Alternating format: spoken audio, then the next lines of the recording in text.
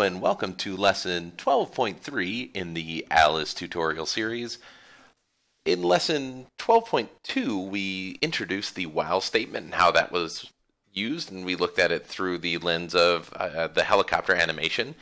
And today we're going to continue with the while statement because it is an important programming tool. The way that we're going to work with the while statement today is through a walking animation. So we're going to create kind of a crude walking animation for one of our objects on the screen and then have it walk in between different objects using the while statement to stop it when it gets near a certain object.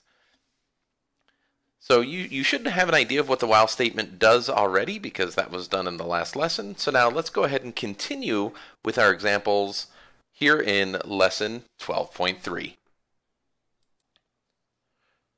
So here I am in a new Alice world, and before I do anything with the while statement, I want to animate a real quick or crude walking animation. So let's do that by uh, adding an object and selecting People Gallery. So scroll over until you find People, and I'm going to use my coach as kind of a go-to object here. So we have our coach, and as I've done in the past, we're just going to go ahead and position him into a rough standing position. So let's move this arm down to its side and flip the coach around, affect subparts, grab the other arm, and give him a rough standing position right here. So that looks pretty good. Now one thing that I want to do is I want the coach to uh, be able to remember this pose so I can get him back to a standing position. So with the coach selected, I'm going to go to Properties, I'm going to capture pose by clicking capture pose, and I'm going to name his current position standing up, or something to that effect, so that I can put him back into the standing up. Now I'm going to have the coach walking forward, so let's have a, a uh, left step and a right step uh, pose for him as well. Affect subparts, and we're going to try and make him swing his arms a little bit, so we're going to have this arm swing forward just a bit while that leg goes backwards a bit. And then this leg's going to go forward while this arm goes back. And that looks about right. So now that we have that position, let's make sure the whole coach is selected. And we're going to capture this pose. This pose is going to be called first step. And then a second step will just be the opposite. So we'll take his arm and move this one so that it's in the back. So it's swinging behind him. Bring this leg forward. Bring his other leg back. And swing this arm forward. And just like we did the last time, make sure the entire coach is selected.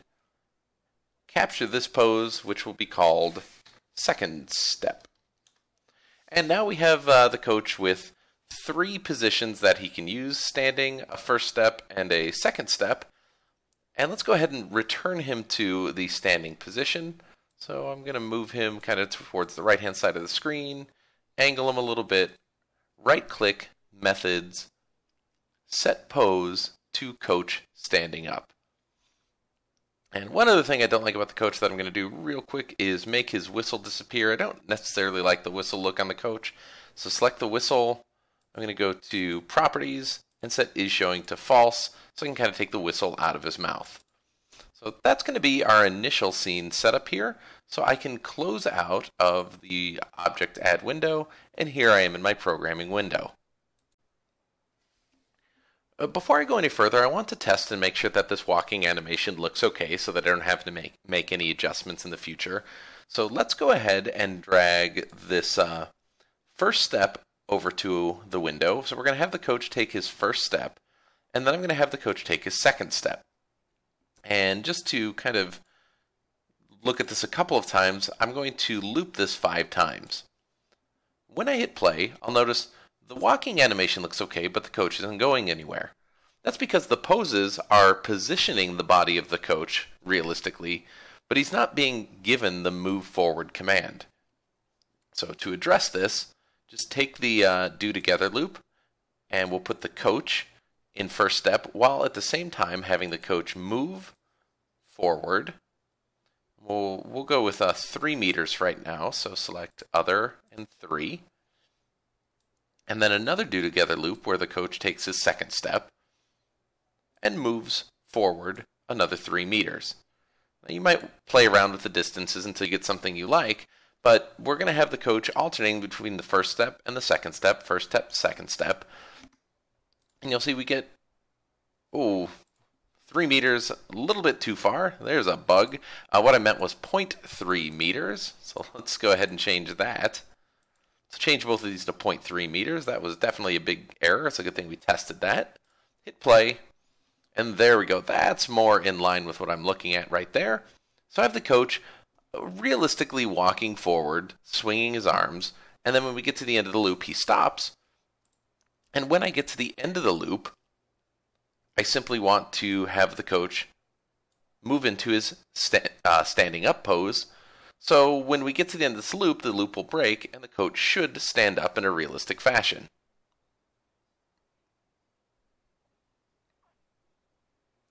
And there he goes, walking forward. We get to the end of the loop, and he resets to the standing position.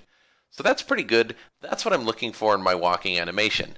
Now that I have a walking animation that I can use, we can go ahead and integrate this with the while loop. To integrate this with the while loop, I'm going to want another object out on the screen. So let's go ahead and add an object, and I'm going to use the animals gallery and put a chicken out into this world on the other side of the screen. Now as it stands right now, I want the coach to walk to the chicken and stop. If I wanted to do this, I could start by telling the coach that I want him to turn to face the chicken to start this animation. So let's use coach, turn to face, chicken.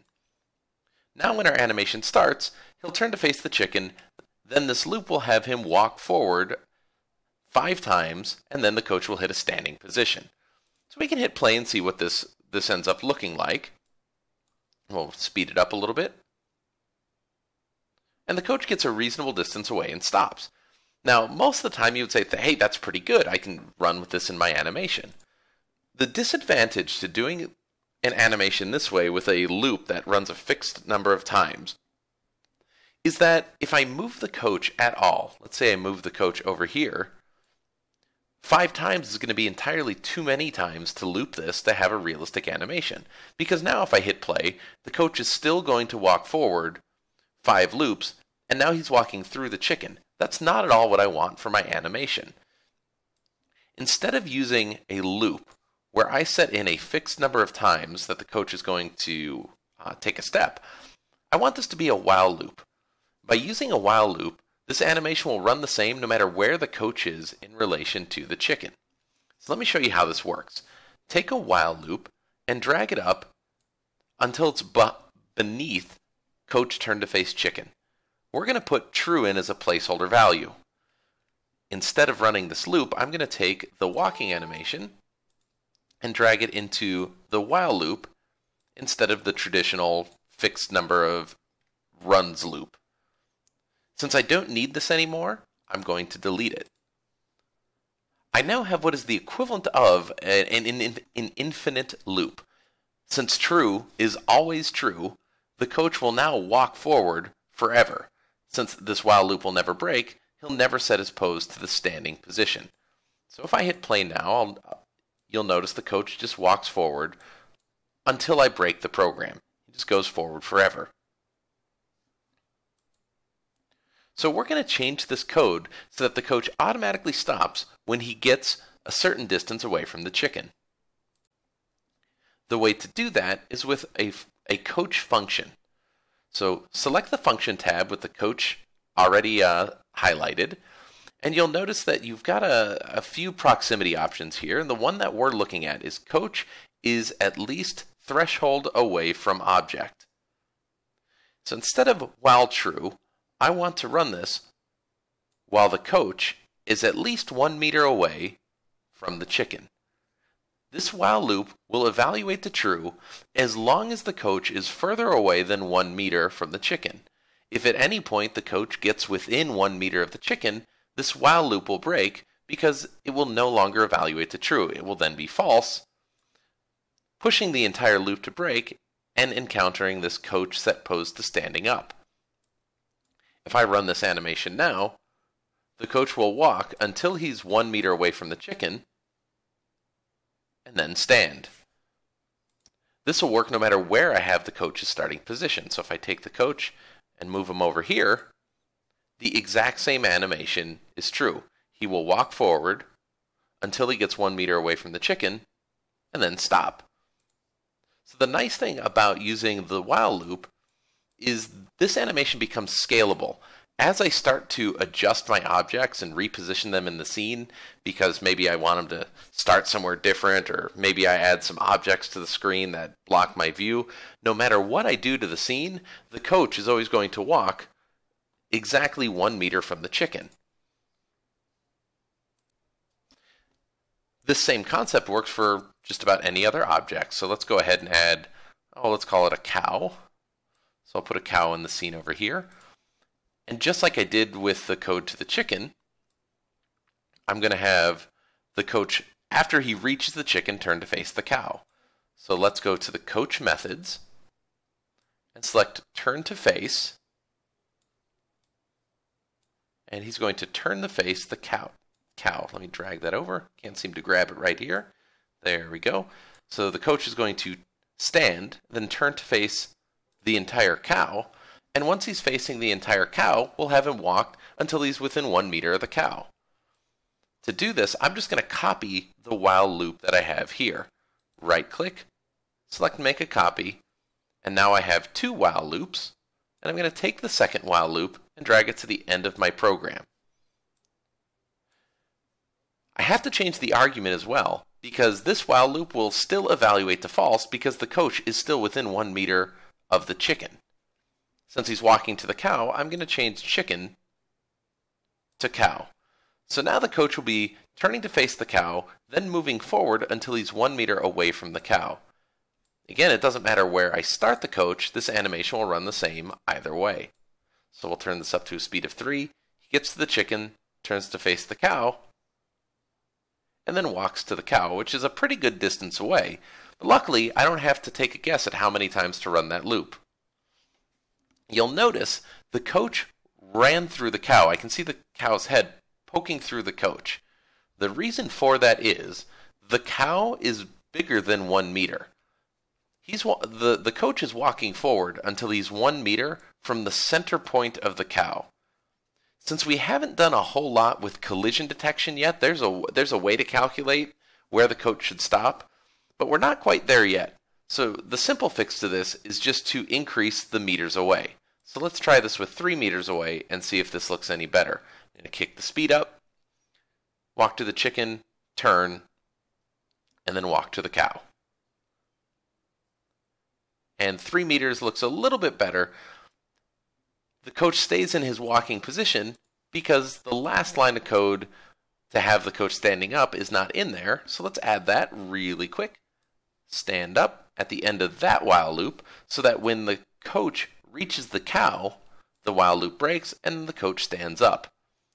Now, it doesn't matter where I position the coach in the scene, he'll walk directly to the chicken, stop, turn to face the cow, walk directly to the cow, stop, and come to a standing position. So that's how you can use the while loop to control walking animations in your programs. Most of the time when I'm writing programs, I would advise using a while statement as opposed to a fixed loop most of the time. There's going to be a few times where looping at a fixed number of times will be appropriate, but for the most part, the while loop is a bit more complicated but gives you a lot more power because the while statement lends itself to using these functions. They, they're somewhat self explanatory, but you can do different conditional checks with a while loop that you can't do with a fixed loop. The fixed loop relies really heavily, particularly in walking animations, with uh, trial and error. And since we don't want to do a lot of trial and error, and since our scenes are going to change and objects are going to reposition themselves relative to one another, we want to make sure that our animations work no matter where the objects are on the screen. Like I said, I can move the cow, the chicken over here, the cow over here, and the coach right here, and the animation still works. The coach is going to realistically walk, walk to the chicken, stop, turn, walk to the cow, and stop. So by using the while loop in these walking animations, I've created a world where object positioning doesn't matter. The animation works every time. So that's your example of the while statement, and that is pretty much going to conclude lesson 12.3 there. Let's go ahead and give you a chance to practice the while loop in the lesson 12.3 challenge program.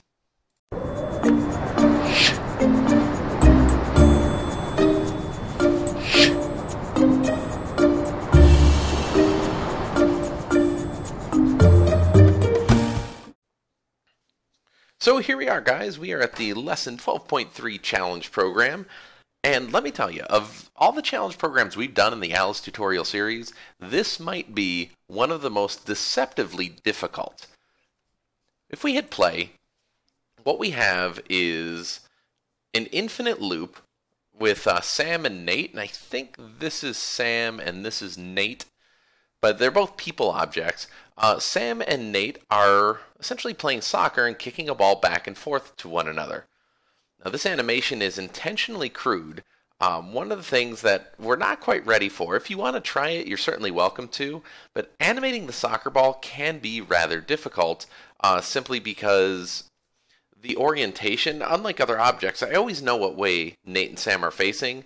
The soccer ball looks the same whether it's facing into the ground or whether it's facing left or right.